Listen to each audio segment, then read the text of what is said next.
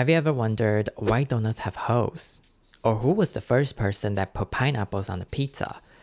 These are the questions I'll look up at 3 o'clock in the morning when I can't fall asleep. Interesting, huh? But you know what's more interesting? Biodiversity. I just came across an account called Truly.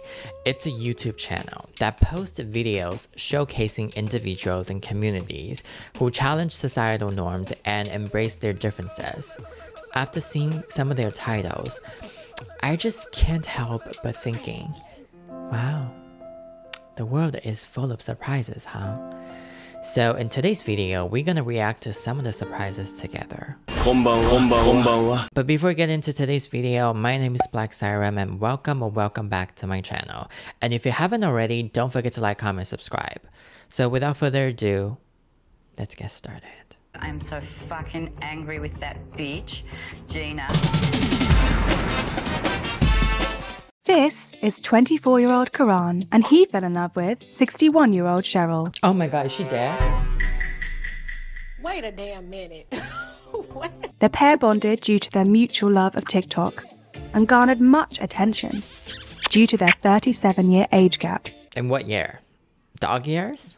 Grammy, stop hitting on your great grandson. Okay, you know what? Be open minded. Be open minded. You can do this. Got married, the water was running beside us. It was very beautiful. Now they want to grow their family and have children. What? How can she The Bluetooth device is connected successfully. There, there's a song. Okay, okay, okay. Is there still eggs in the basket?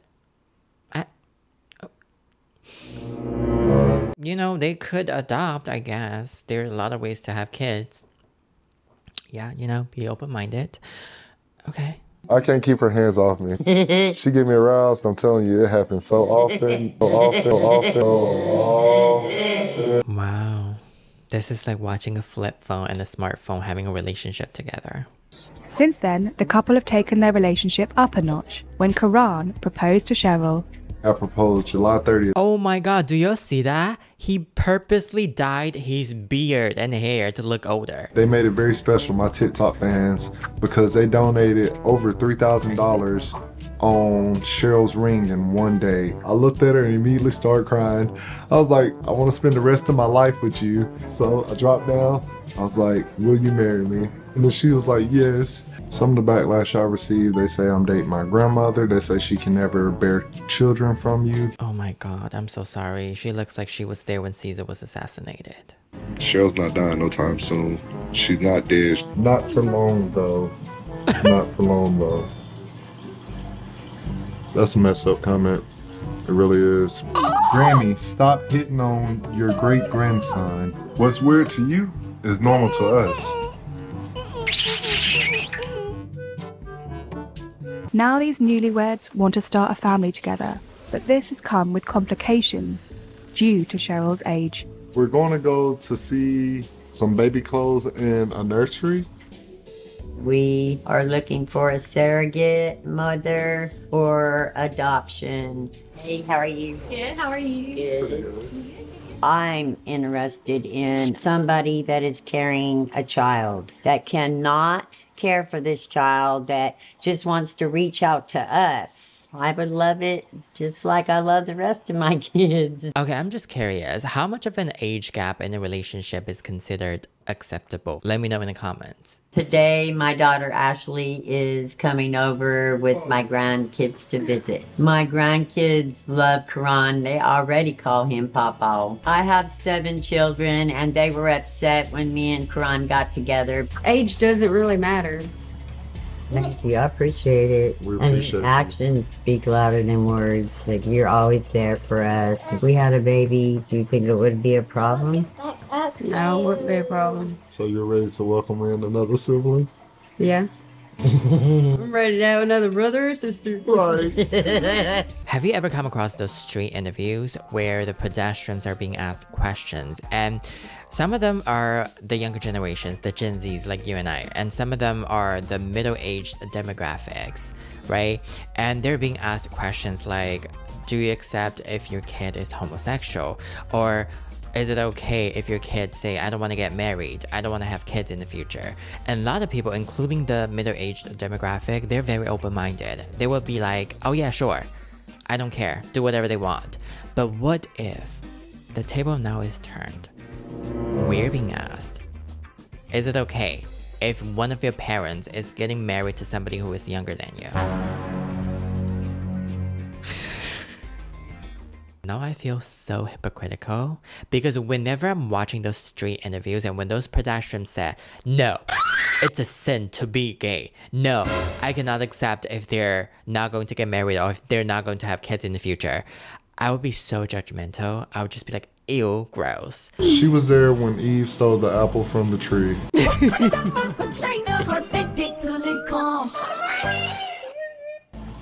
I wasn't there. Cheryl has made me to be a better human altogether, like a better man, a better human. She makes me want to do better, like all together in life. I don't regret meeting Cheryl. She really improved everything about me, every aspect. The heart falls in love with who the heart falls in love with. It sees no age, it sees no color, it sees nothing but love. And that's exactly what we have for each other. Are you sure? Oh my god, I would be so scared to hug her. Because imagine if you hug her and there's like dust coming out of her. Listen, here's the thing. I rather this is a transactional relationship. I rather he's actually in it for the money. I think that will make more sense. But apparently, from the video, this is actually true love. Apparently, I think I'm not ready for this because obviously, good luck with this couple because she's not my mom. You know, it doesn't happen to me in real life. But imagine if my mom tells me that she's going to marry to somebody who is younger than me. Girl, guys, I need help. Am I being hypocritical? Or is this morally not acceptable? Please tell me I'm not the only person. Okay, what is your opinion? Let me know in the comments because I am just very curious.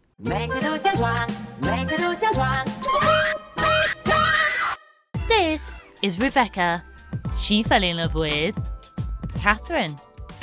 Hello. Who's in this space right now? But before meeting, Rebecca was already in a relationship with Rupert, a ghost. Are you here by Rebecca? Wait a minute, let me get this straight. So, these two girls are in a relationship, but Rebecca is also in a relationship with the girls. Huh? What? Personally speaking, I've never heard a ghost say, ooh, but I have heard a ghost say, help me, get off my grave, and things like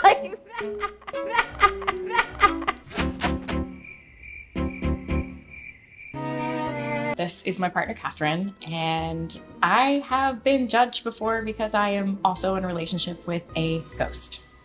His name is Rupert. I met him in front of a local historic home.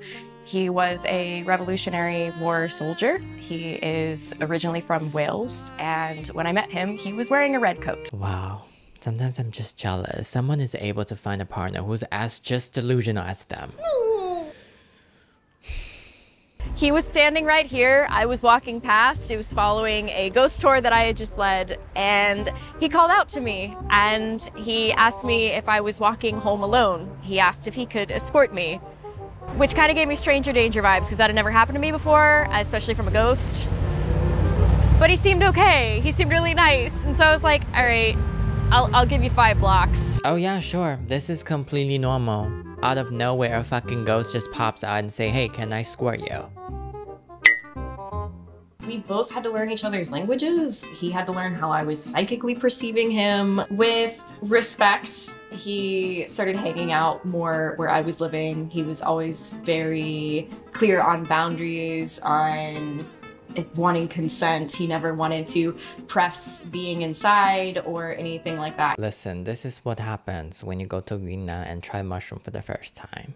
I did a past life regression and I did know him. I knew him back in 1781 when he was stationed here as a part of the 82nd Regiment. He and I used to be married when he was alive. You know, for a long time, I think myself as a crazy person, but thanks to Rebecca, I think I'm normal. What is your intimate and sexual relationship like with Rupert? Mm-mm.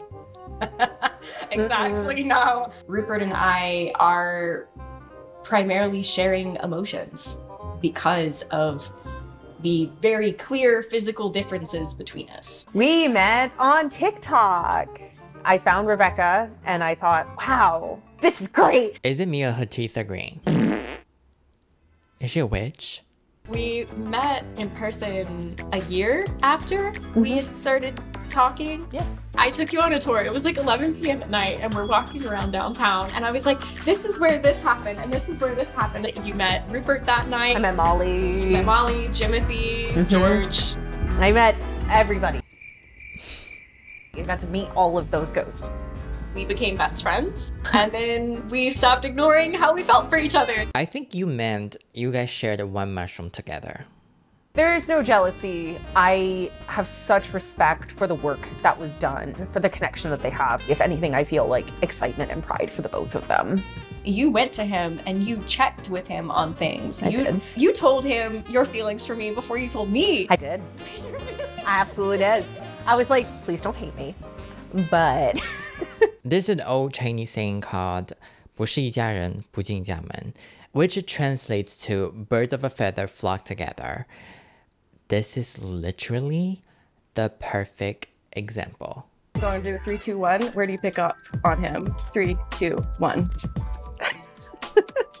Aha! Yeah. Okay. Also felt him behind you. Yes. You know, sometimes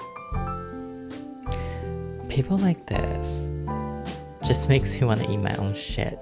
some of the comments we get are, you're crazy. They're letting everybody out of the asylums nowadays. That's a really good story that you just made up. A lot of people are like, ah, clearly she's lying, but I really enjoy the stories. Find Jesus. Um, I don't think you need Jesus. I think what you need is stop taking mushrooms and battery acid.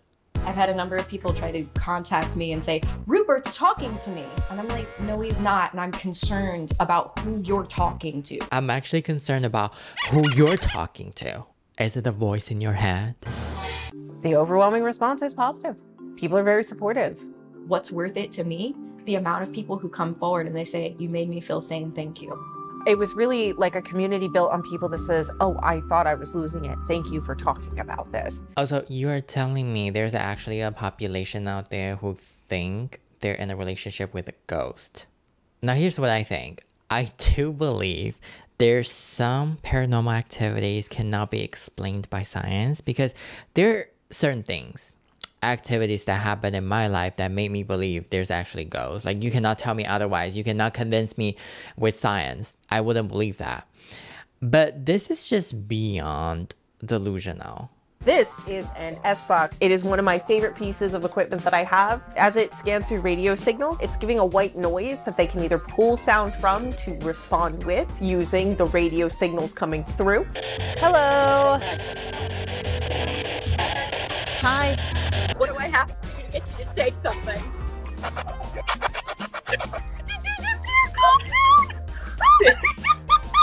Okay, can somebody tell me do those frequency detector thingy actually work? Can they actually detect ghosts? Because for a long time I was so curious of getting one. I almost got one. But then again, I was thinking I don't want to hear those frequency. I want to hear actual ghost talking to me, like in words for words. I love Rebecca for her talent. I feel very privileged to be in this sphere with her. She is like a star, and I am just gazing up. What I love about you the most is how you make me feel seen. I don't worry about the future with you. I'm so caught up in how happy I am in the present. We often say that the future is malleable, and because of that, the future is what we make it. And I think what we're making here is unique and curious and beautiful. to you. I think it's a blessing if you can find a partner who's willing to do stupid shit like this with you. Even if it's not real, like even if it's a fucking lie, if this person is willing to do this with you, for you, that's a relationship goal, y'all. Thank you guys so much for watching today's video and if you enjoyed this video, please like, comment, subscribe and I will see you in the next one. Bye.